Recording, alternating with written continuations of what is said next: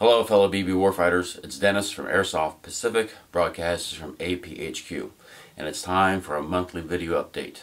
Given this month's update, we have Engine from Fan and Fury, and he's out in the field, so let's cut over to him right now.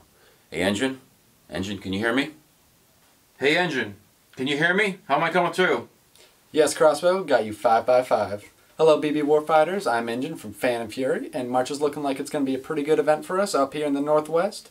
As usual, Camp R&R is going to be kicking off the month with their monthly game, and that will be on the 3rd and the 4th. Airsoft Essentials will be out there helping you with some of that equipment like ammo, and K&M Rentals will be there for your AEG rental needs. Also, on Saturday the 3rd, Nighthawk Airsoft is hosting their Siberian Strike 2 at their field in Ford, Washington. It is a MILSIM event, so make sure you are prepared for that game. Saturday the 10th, the Swamp is hosting their Airsoft Recreational Day, so if you want to come out, get some BB slinging time for about 15 to 20 minute scenarios, and that's always a good event to come out to if you can.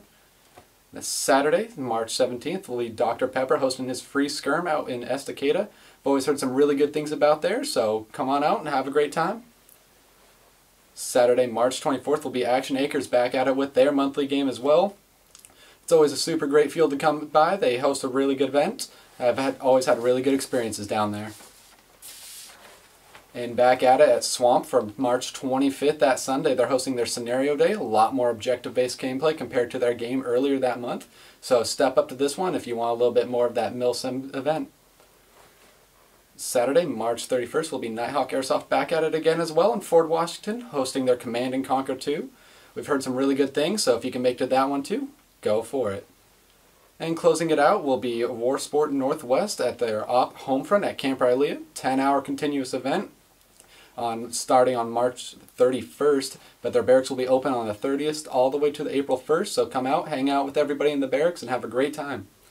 That's it for March. Back to you, Crossbow, at APHQ. Thank you, Engine. I agree, there's a lot going on this month. However, before I let you go, I want to give you the latest intel drop on Warsport Northwest Op Fury Road. Both sides, the Wolverines and the Russian forces, are filling up very quickly. So if you want to get in on this event, you really need to get in and register now. It costs you nothing to do that. There is a prepay option if you decide to go that route as well. We'll hope to see you out there. Well, that's it for this month. Play safe. We'll see you on the field.